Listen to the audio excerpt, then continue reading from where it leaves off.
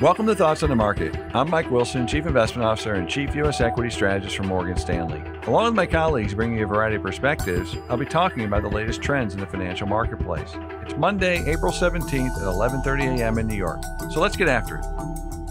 A month ago, when the banking stress first surfaced, my primary takeaway for U.S. equity markets was that it would lead to a credit crunch. Given our already well below consensus outlook for corporate earnings, it simply gave us more confidence in that view. Fast forward to today, and the data suggests a credit crunch has started. More specifically, they show the biggest two week decline in lending by banks on record, as they simultaneously sell mortgages and treasuries at a record pace to offset deposit flight. In fact, since the Fed began raising rates a year ago, almost $1 trillion in deposits have left the banking system. Throw in the already tight lending standards, and it's no surprise credit growth is shrinking. If that isn't enough, last week the latest small business survey showed that credit availability had its biggest drop in 20 years, while interest costs are at a 15 year high. There's a passage in Ernest Hemingway's The Sun Also Rises in which a character is asked how he went bankrupt. Two ways, he answers gradually, then suddenly. This is a good description of recent bank failures. The losses from long duration treasury holdings and concentrated deposit risk built up gradually over the past year and then suddenly accelerated, leading to the surprising failures of two large and seemingly safe banks. In hindsight, these failures seem predictable given the speed and magnitude of the Federal Reserve's rate hikes, some regrettable regulatory treatment of bank assets, and concentrated deposits from corporates. Nevertheless, most did not see the failures coming, which begs the question of what other surprises may be coming from the Fed's abrupt monetary policy adjustment.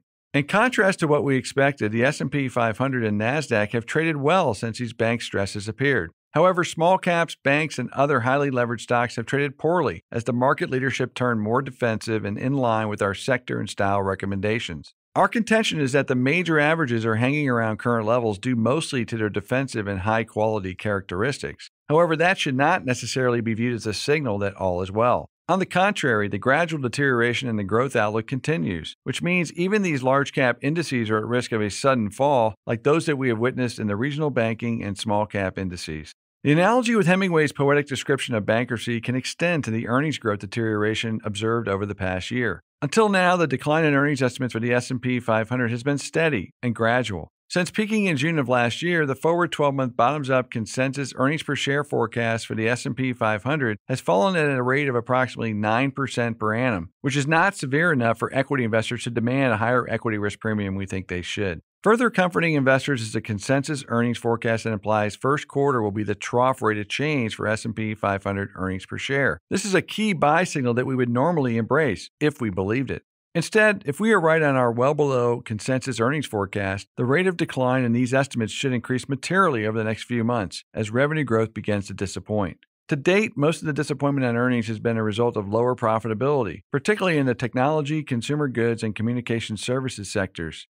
To those investors cheering the softer than expected inflation data last week, we would say be careful what you wish for. Falling inflation last week, especially for goods, is a sign of waning demand, and inflation is the one thing holding up revenue growth for many businesses. The gradually eroding margins to date have been mostly a function of bloated cost structures. If and when revenues begin to disappoint, that margin degradation can be much more sudden, and that's when the market can suddenly get in front of the earnings decline we are forecasting too. Bottom line, continue to favor companies with stable earnings that are defendable in the deteriorating growth environment we project.